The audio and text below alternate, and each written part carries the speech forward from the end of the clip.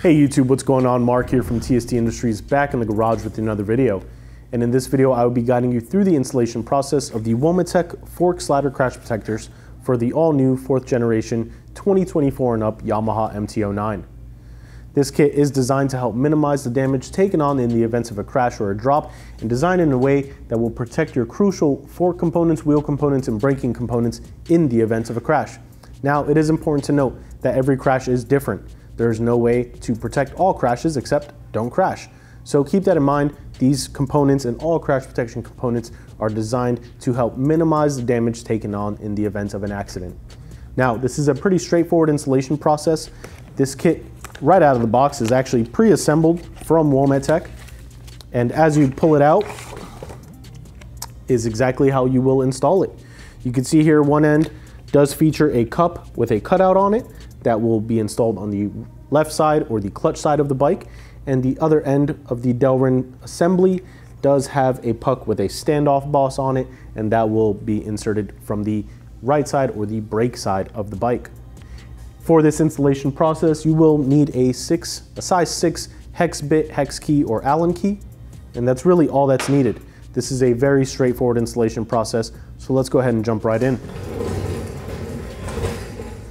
sliding over to the front of the bike and orienting our fork slider in the way it will be assembled. I will now go ahead and remove one end of the assembly, in this case, the clutch side of the assembly. And now with that removed, we will tighten this by hand and bottom it out against the brake side of the assembly. We will insert it through the axle, bottom it out on the assembly and now we will grab the opposite side and begin threading this by hand.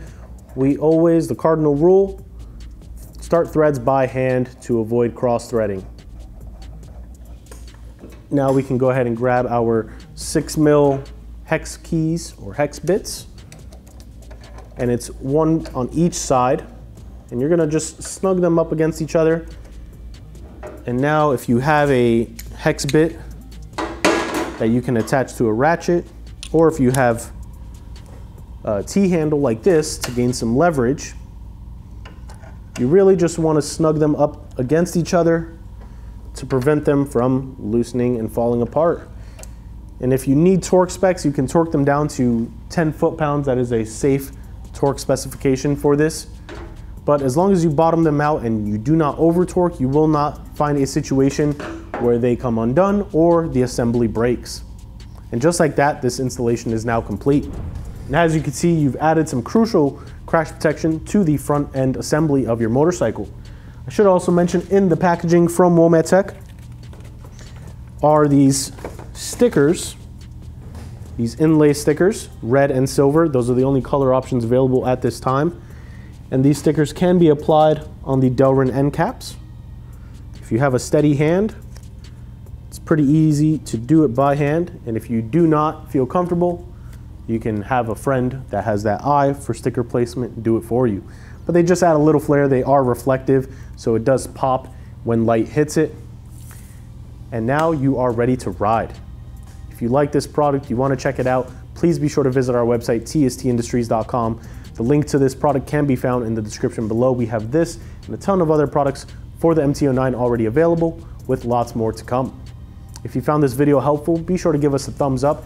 Don't forget to hit that subscribe button and turn the notification bell on to stay up to date with all the new and exciting videos we've got going on. And lastly, be sure to stop by our social media pages, Facebook, Instagram, and Twitter, all username TST Industries. For now, this has been Mark in the TST Garage, and we will catch you next time.